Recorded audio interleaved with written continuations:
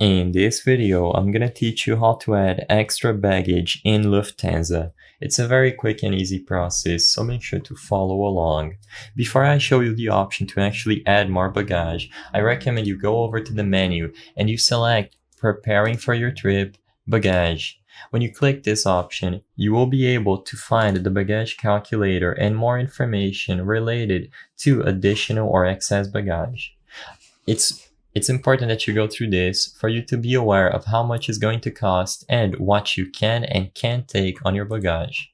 With this step out of the way, if you are satisfied and you still want to book additional baggage, simply click this option, book additional baggage for a fee. Wait for it to load and you will be taken to this page, as you can see there are more terms and conditions that you must agree with. If you are satisfied and you want to proceed adding extra baggage after you go through the calculator, select book additional baggage online.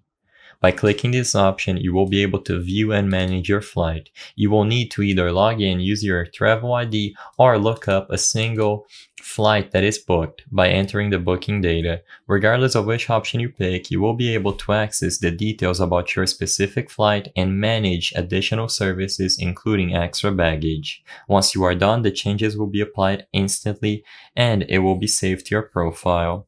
I hope I was able to help you on how to add extra baggage in Lufthansa.